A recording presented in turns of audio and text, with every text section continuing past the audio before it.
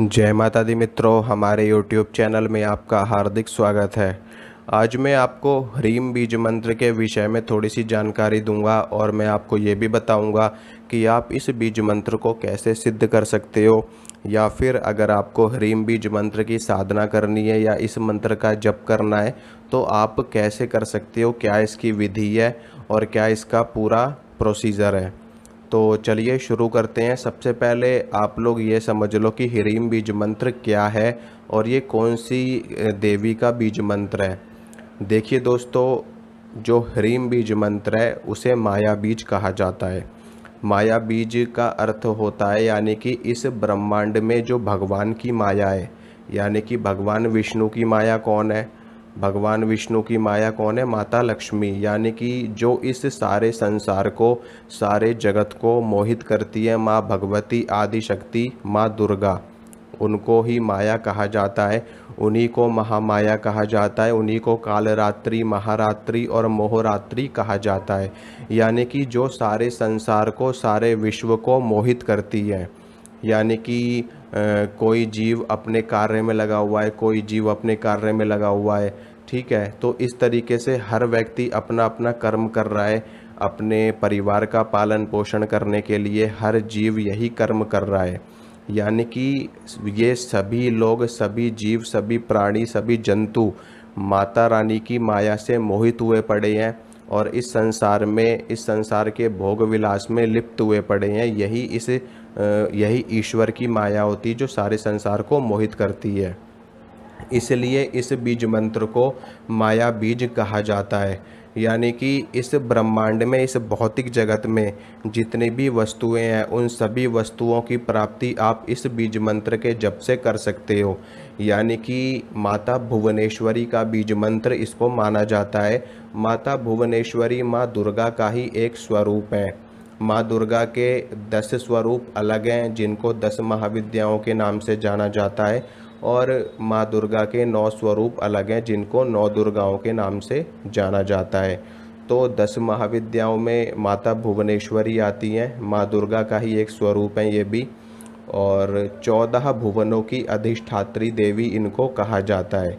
यानी कि चौदह भुवन, यानी कि धरती लोक, स्वर्ग लोक, पाताल लोक पितृलोक इसी तरीके से चौदह लोक होते हैं। और उन चौदह लोकों की जो स्वामिनी है, यानी कि जो महारानी है, उनको माता भुवनेश्वरी कहा जाता है। यानी कि माता भुवनेश्वरी ही इन सभी लोगों, इन सभी लोगों के ऊपर राज करती हैं, उनका ही शासन चलता है। उन्हीं की इच्छा से हर कार्य संपादित होता है इन चौदह लोकों में, और उसमें से एक लोग धरती लोक है। तो ह्रीम बीज मंत्र में हा, रा, ई, म, ठीक है, चार वर्ण मिल कर के बनते हैं। हा से हा हो गया, हा हो गया, रा जो है, वो अग्नि का सूचक होता है, ई वायु वायु का सूचक होता है। और माँ इसमें अनुस्वार जो कि पर ब्रह्म परमेश्वर, ब्रह्म स्वरूपिणी होने का सूचक माना जाता है। और इसी कारण से इसको ह्रीम बीज मंत्र कहा जाता है, माता भुवनेश्वरी का बीज मंत्र।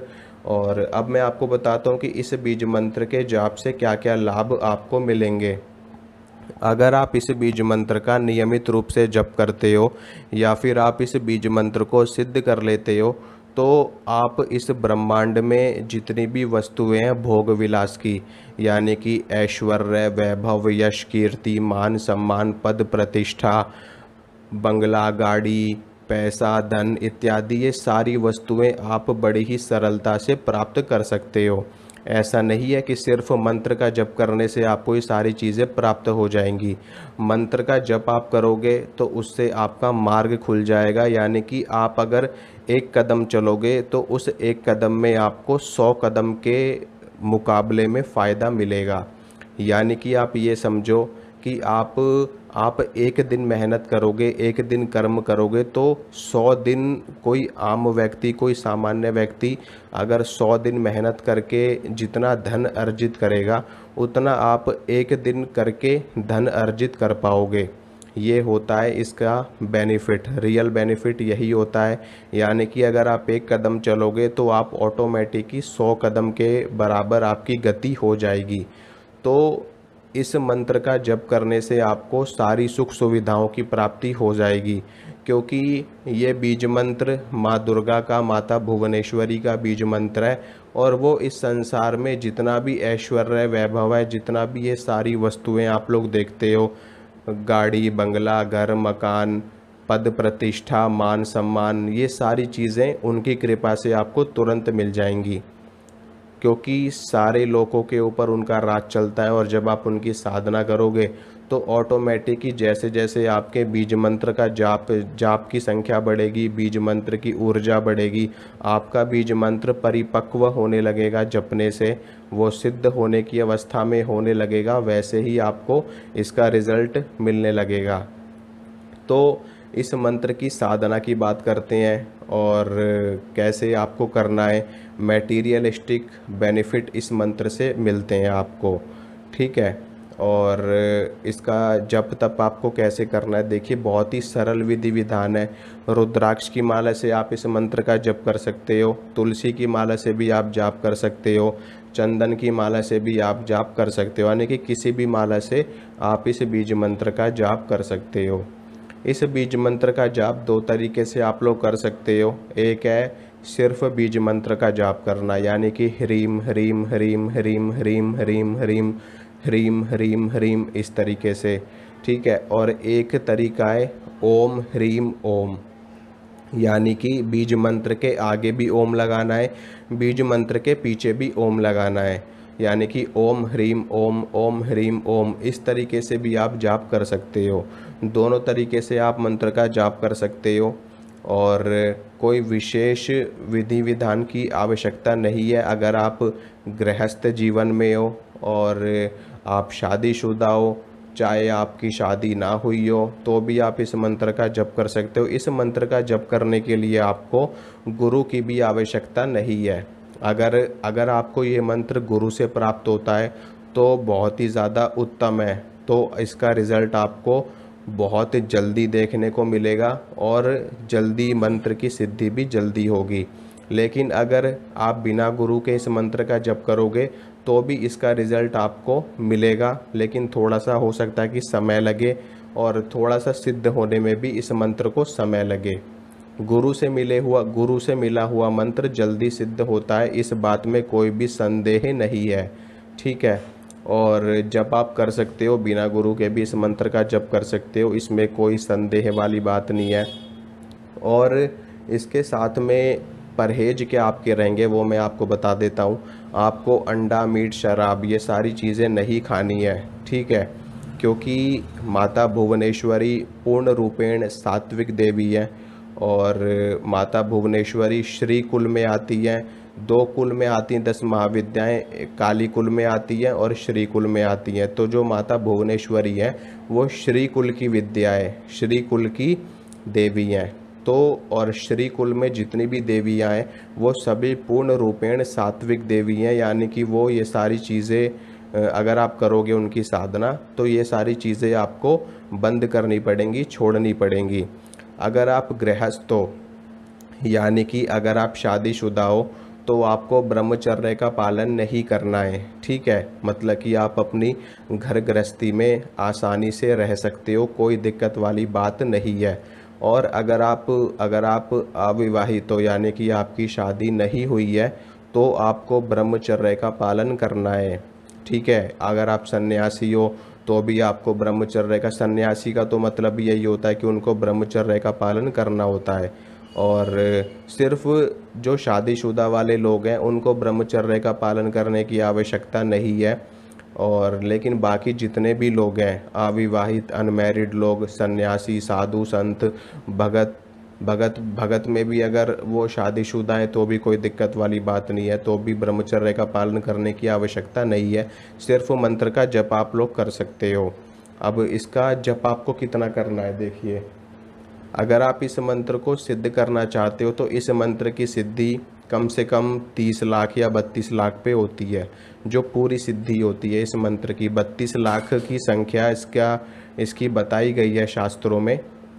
कि बत्तीस लाख की संख्या पे ये बीज मंत्र पूरी तरह से सिद्ध हो जाता है। लेकिन फिर भी आप लोग इस मंत्र का जप सवा लाख कर सकते हो, ग्यारह लाख कर सकते हो और इक्यावन हज़ार कर सकते हो, इक्कीस हज़ार कर सकते हो, ग्यारह हज़ार की संख्या में इस मंत्र का जाप कर सकते हो। तो ये आपके ऊपर है कि आपको इस मंत्र का जप कितना करना है। जितना ज़्यादा आप इस मंत्र का जाप करोगे, उतना ज़्यादा फ़ायदा आपको देखने को मिलेगा। ठीक है, समझ रहे हो ना?